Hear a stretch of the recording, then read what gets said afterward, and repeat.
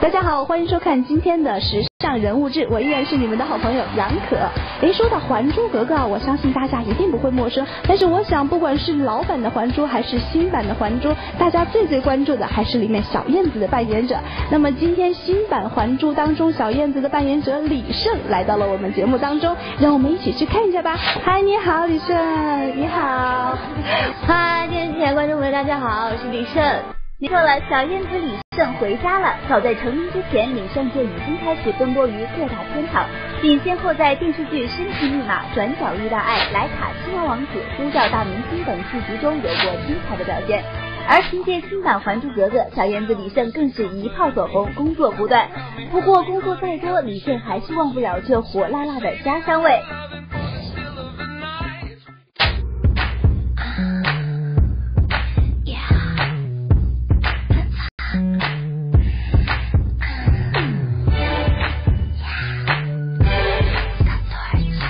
我每次回到长沙，就有一种回到家的感觉。你是不是特别喜欢吃辣椒？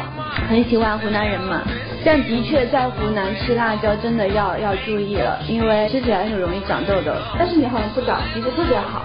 还行，有句俗话叫什么“男靠吃，女靠睡”，对不对？就一定要在睡美容觉的那个时间，十点到两点之间，一定是要在睡觉的，然后做面膜，疯狂的做面膜。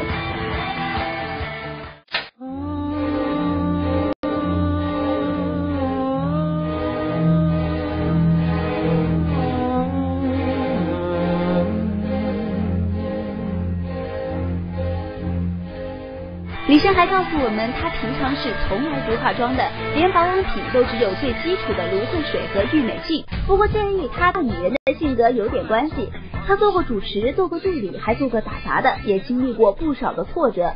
这样李晟的性格变得倔强而努力，以至于很多人都管他叫盛爷。这是在他平常的衣着上啊，就可见一斑。那家会比较随性，因为像现在拍拍拍杂志啊或者录节目都会穿裙子，就私底下从来不穿裙子，就是会怎么简单怎么来。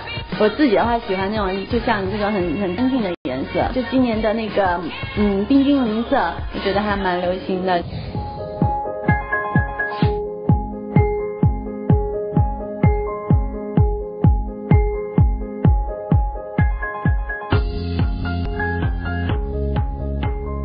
二零一一年九月七号，李晟签约滚石唱片，开启全新的音乐历程，成为影视歌三栖明星。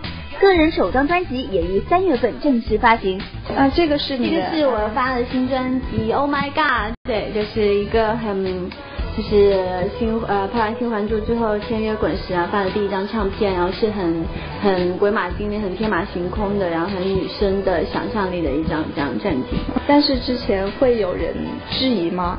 应该会有吧，我也听到过这样的声音，大家会可能会没有听过，就觉得你是演员，然后这样发一张唱片，可能大家没有听过，然后也不会就是就是一般都会觉得说啊演员去唱歌就那样，但是我觉得。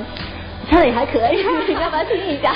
大山里有什么困难我们不在一起傻傻的等你可是你从不在意非常开心能够邀请到李晟来参加我们的节目，也希望大家每天都美美的，每天都活色生香，然后开开心心，谢谢。